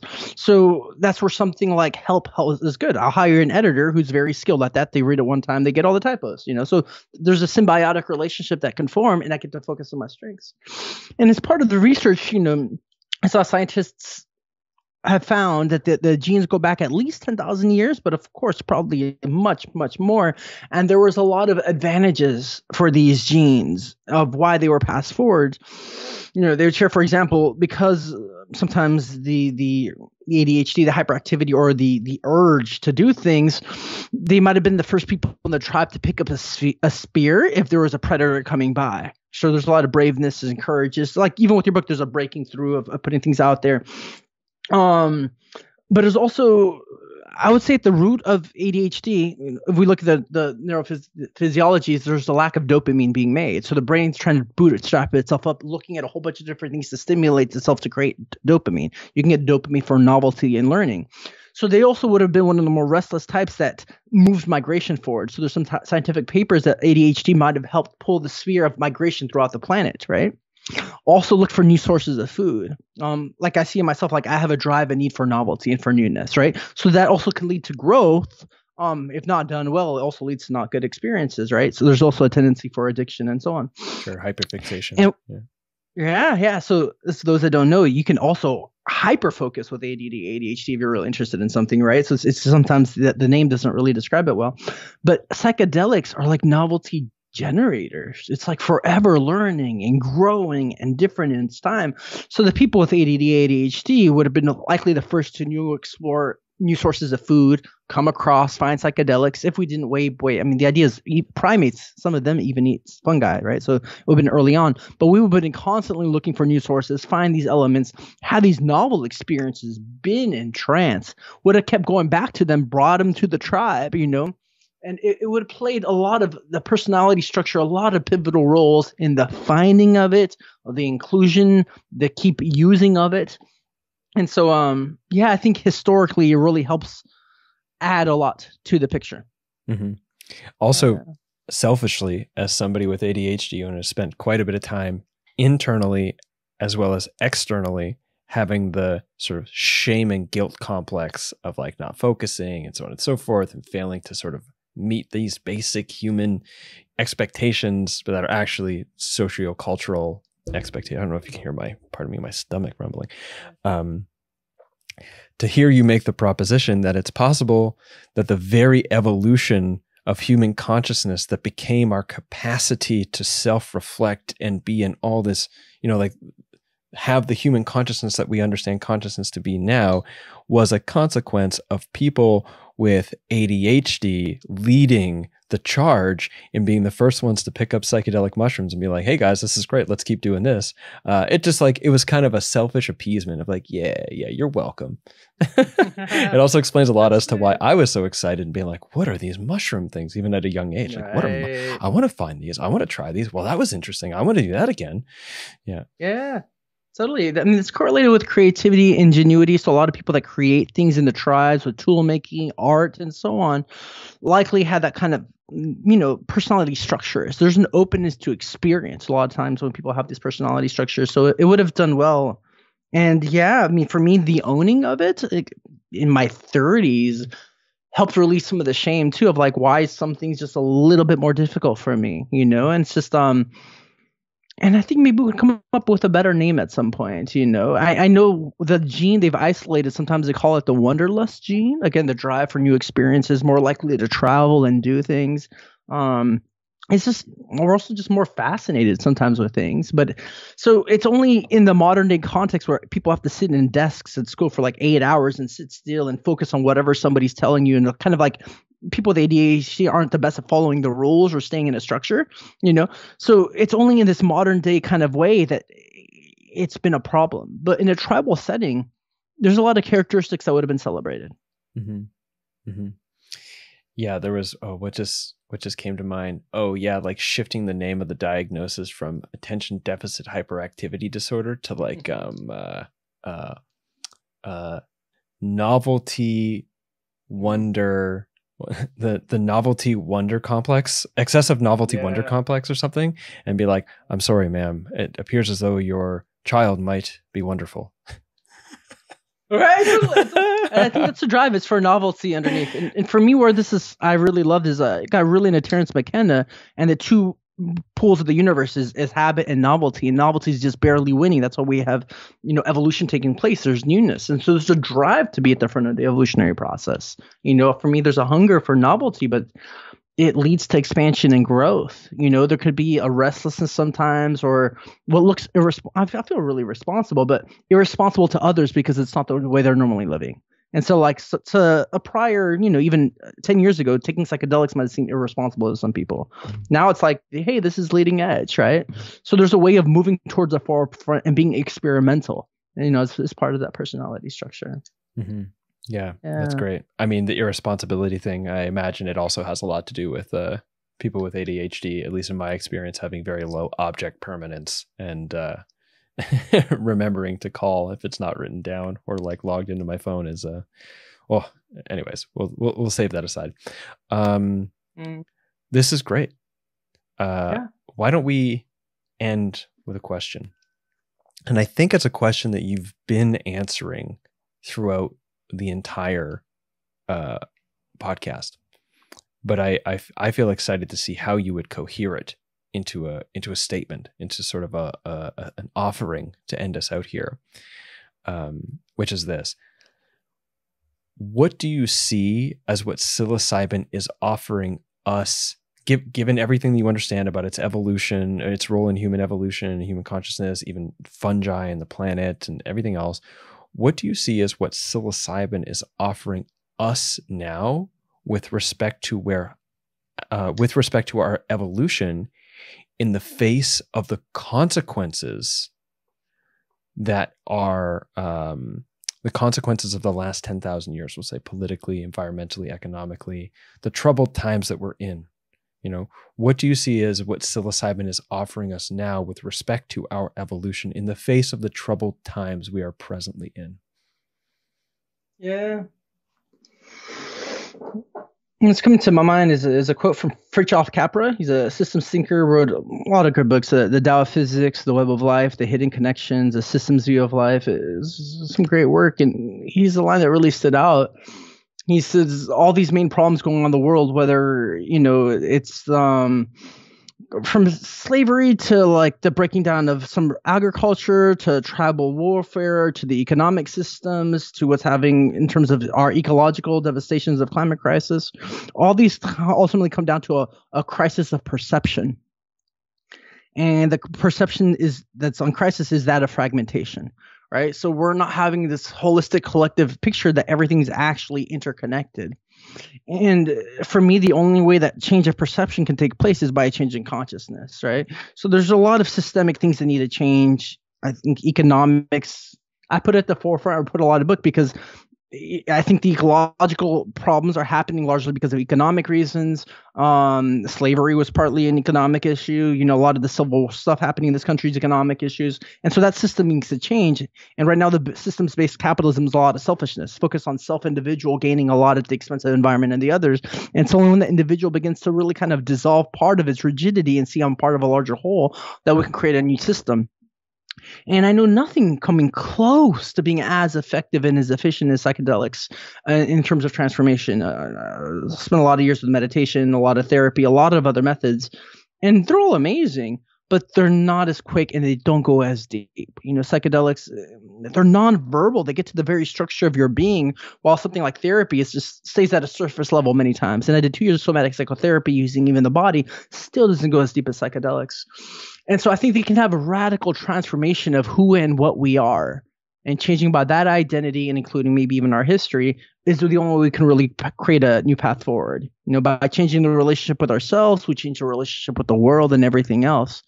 And I think it's a an essential shift that needs to happen. I think there's no way to do it without their help. I think it would have happened by now uh, without the use of psychedelics. So I think all the meditation, all the therapy isn't enough. We do need structural changes, but the individual needs to change first. And as I see it, is these are part of the Earth's natural structures and you say processes, and we're simply coming back to alignment with them. You know, we're we're re-evolving, coming back to when you say revolution is to evolve again. We're coming back into alignment with those evolutionary processes. Great. Thank you so much uh, for that and for the whole conversation and for your book. Uh, yeah. This has been wonderful. Jahan, totally. uh, mm. thank you. And where can people, yeah. Uh, well, actually, I'll give you a chance to respond there before I jump yeah. in with the next thing. Yeah, first, I mean, it's just such a joy uh, to speak with you. I've been looking forward to it. You know, I read your book years ago, so it's amazing to be. It feels good to be in dialogue with you, get to know you more as a person, and uh, I enjoy your presence and the high level conversation. You know, it, again, it's it's been quite a joy and wonderful to be here with you. The book um, is on all the platforms. Uh, published North Atlantic Books, you know, distributed Penguin Random House. So it's on it's on Amazon, it's on Target, it's on Barnes and Nobles. It's pretty much everywhere you can find books. Um, and the uh, audiobook came out recently, so it's also on Audible. Uh, my website's psychedelicevolution.org. You can just read more about me and so on. Um, but yeah, the book is widely available at this point. Excellent, thank you. My my final question was where can people follow more about your work and get your yeah, book and so on and so forth? So yeah, uh, you answered it for me. Uh, Maybe I'll say the title. It's the, the, psilocybin connection, psychedelics, the transformation of consciousness and evolution on the planet integral approach. Yeah, yeah. Great. Well, again, thank you so much, and uh, uh and that's it. so it's an honor. And it's an honor. Yeah. Hope to see you again and cut. Okay, everyone. Thank you so much for tuning in, and I hope you enjoyed it. Please do follow up uh, with following Jahan and checking out his wonderful book, The Psilocybin Connection uh, Psychedelics, the Transformation of Consciousness and Evolution of the Planet, an integral approach. Now, the integral thing especially you might find interesting if you've been following integral theory or Ken Wilber or find any interest in that, because he does have a very thorough sort of explanation or exploration of how we can understand the role psychedelics have played in the larger evolution of consciousness on this planet through the lens of integral theory, which I found very satisfying, and you might as well. And of course, if you did find value in this episode, another way to uh, reflect that is by some financial contribution to the podcast, either becoming a patron, leaving a one time donation, purchasing something from one of the shops, digital or physical items. Um, links are all contained below, or alternatively, you can follow up with one of our affiliates, in particular, the people who sponsored this episode, which is the Synthesis Institute and their upcoming live stream, The Evolving Psychedelic Ecosystem. So, let me give you a little bit about this and why it might be cool for you to sign up because, well, it's free, which is cool. Uh, and uh, it's coming up in just a few days. The Evolving Psychedelic Ecosystem is an expert led panel discussion focused on the current state of the psychedelic space and will explore the impact, innovation, and insights we are experiencing as access to psychedelics expands. Register now to secure your no charge seat at this unique live event where you'll meet and have the opportunity to interact with renowned psychedelic experts who will be revealing what they see on the horizon for the rapidly changing psychedelic landscape and the impact expected on those co creating this burgeoning space. Guests are Alex Belser, Sarah Reed, Kalea Taylor, and Julian Vayne. And again, it's happening September 20th. That's this coming Tuesday, if you're listening to this when it first come to, comes out, September 20th, 2022. And you can jump over by heading to jameswjesso.com forward slash psychedelic ecosystem or following, following the links contained anywhere you're watching this. There are links that you can jump over. So I'm going to be attending and I'm looking forward to it. And hopefully, I will see you there. And uh, this is it. This is the end of the show. Thank you so much for tuning in all the way to the very end. Um, I'll see you Tuesday, September 20th, and or I will see you on the next episode of Adventures Through the Mind. And until then, take care.